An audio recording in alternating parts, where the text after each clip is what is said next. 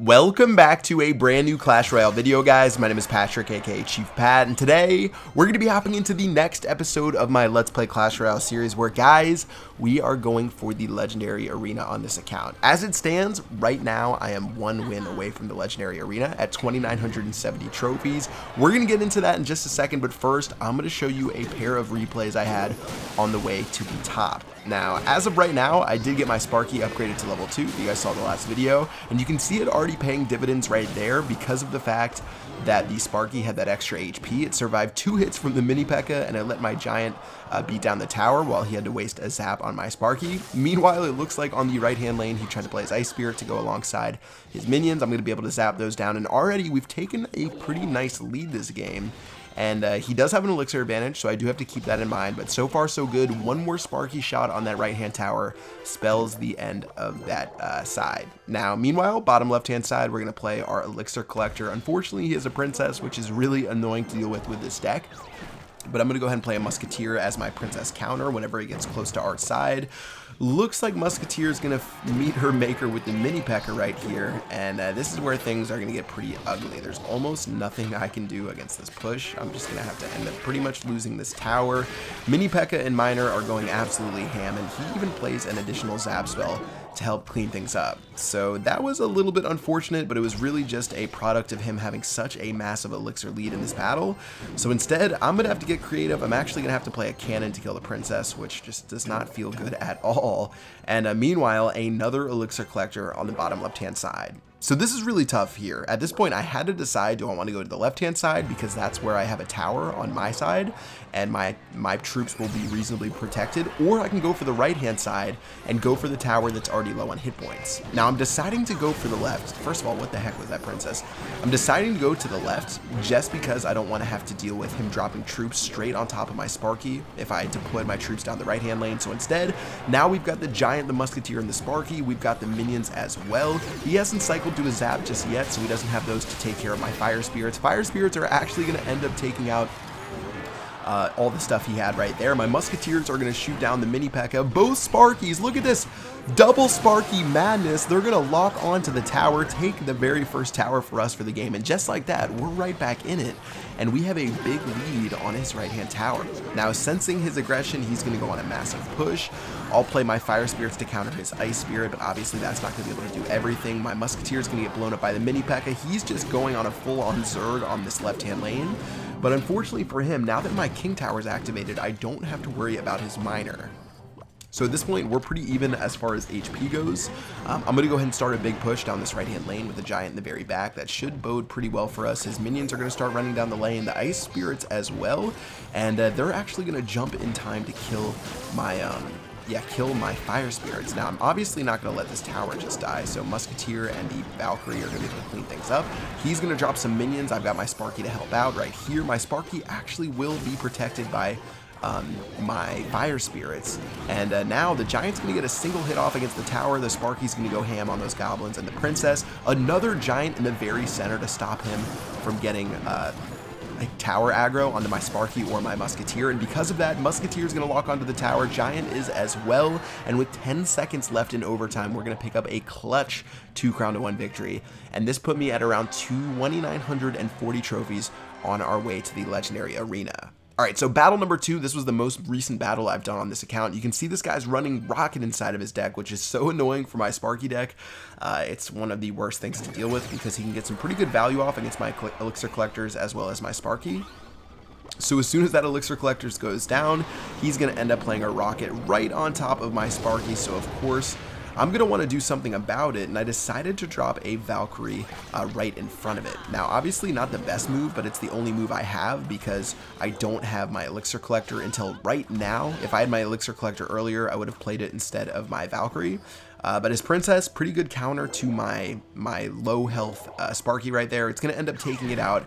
And here's where he deploys the major card in his hand. This guy's using the three Musketeers inside of his deck, which is actually a really hard card to deal with using the Sparky deck. I only have a couple of ways of killing it, either using a Sparky shot, which obviously would be extremely difficult, or I can use my Fire Spirits as well as my Zap. So I'm waiting for the min for the three Musketeers to lock onto my Giant. As soon as they do, I'm going to play the Musket, or I'm going to play the Fire Spirits, and then follow up with the Zap spell. Notice how I don't play the Zap spell first, because if I zap the Three Musketeers too quickly, they're going to target onto my Fire Spirits and kill them.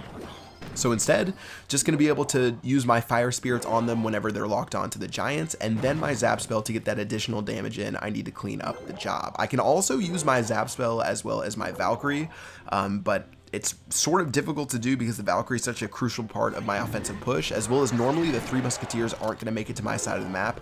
I'm going to have to end up fighting them when they're already sort of across the map. But anyways, Giant is going to go down. He obviously is playing his Three Musketeers again. I'm going to play my Sparky this time, and uh, it turns out that he doesn't have a Zap, and I sort of started figuring it out by this point. So my Sparky is going to kill some of the Spark or the Musketeers without much of a problem. Looks like my Giant, my Valkyrie, as well as my Musketeer and Sparky are just running down the lane. The Fire Spirits are going down as well, but they're going to get blasted by the Princess, as I assume they would. Level 2 Sparky and the Musketeer are going to make short work of that uh, of that Valkyrie right there, I think that was. And now Sparky Musketeer locking onto the tower. They're going to get a shot off, and that is going to be the very first tower of the game, and things are boding pretty well looking into the rest of this battle. He does have my tower on the right, fairly low because he got a giant to it, I believe.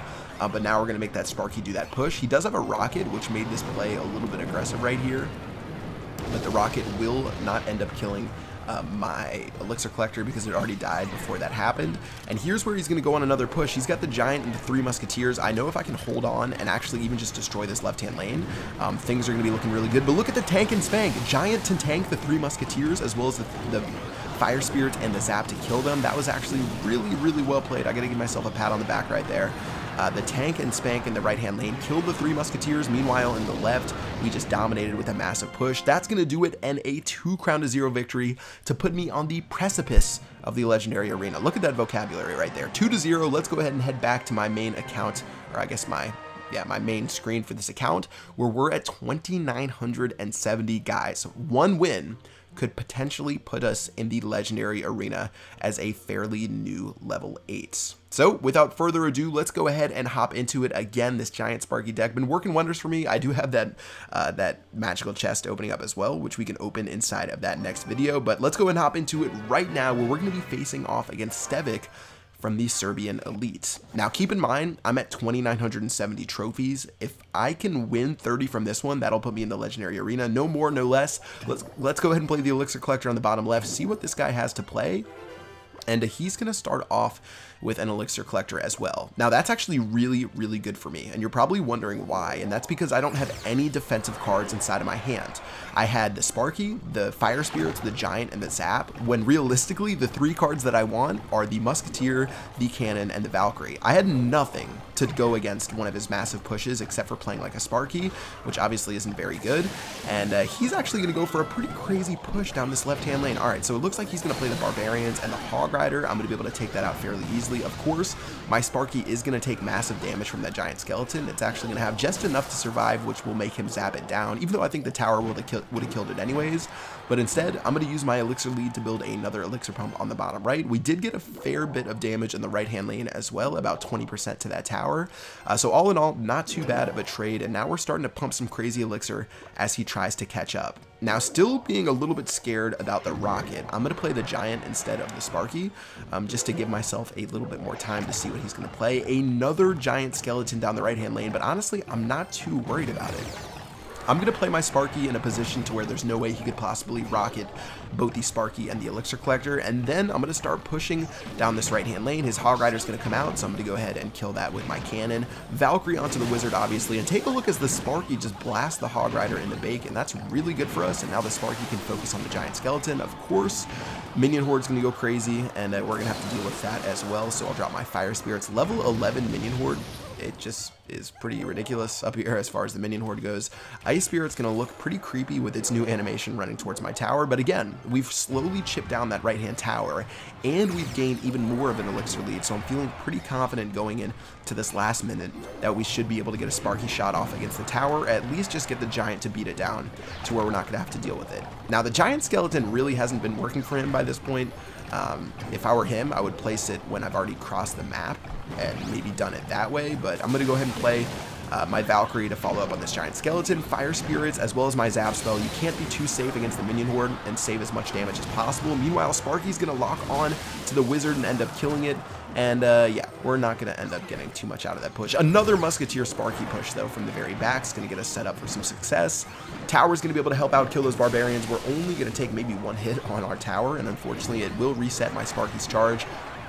But here's where he makes a fatal mistake. That elixir collector on the top left was way too aggressive to where we can just go down this right-hand lane. We've got this, uh, we got the giant beating down on the tower. We got the Sparky as well. The zap spell is going to help against the minions, but unfortunately we didn't get everything we want just because that minion horde ended up killing our giant. I thought we were going to be able to end the game. What is this? Terrible cannon placement's going to absolutely put us in massive trouble against this Hog Rider right here. Tower's going to go down to 502.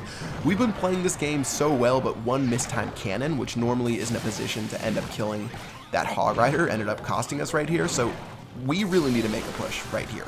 Giant Skeleton's bomb's to explode. It's not to end up killing anything at all, which means we have two Sparkies, a Musketeer, and a Valkyrie going down the left-hand lane. Another cannon to help out against the Barbarians. Ice going to try to defend, but meanwhile, down the right-hand lane, we finish it off. How many trophies? 30 trophies for the victory, which guess what, guys? Puts us at an even 3,000 to put us inside of the legendary arena. Stevic from the Serbian Elite gave us just enough, 3,000 trophies, baby. And taking a look at that beautiful elite scene, we have reached the legendary arena on my free-to-play Chief Pat 2 account. Feels good, man level 8 and about one-fourth on this account. Uh, level 8 commons, level 6 rares, except for a level 9 cannon, but obviously the Sparky being the big boost for me to help get me up there. And uh, yeah, it feels really, really good to hit this on my accounts. Uh, I've been playing this account for a while now. I've honestly been playing it a lot more over the last two to three months um, because of all the win trading at the top on my main account, which I used to play a lot more. But honestly, I play this account way more nowadays. And uh, we actually did get a special offer reward, which is really tempting. But since this is a free-to-play account, I feel like you guys would be pretty mad at me if I bought it. So I don't think I'm going to buy it. Uh, you guys can let me know in the comment section below what do you think about me buying the special offer reward.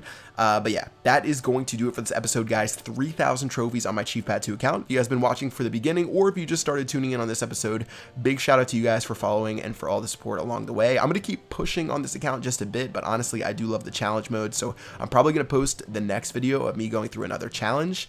And uh, yeah, that is going to do it for this video. Legendary Arena, baby. Let's go and uh, I'm a pretty excited chief right now. That is going to do it for this video. Hope you guys enjoyed. Until next time, I will see you guys later. Peace out.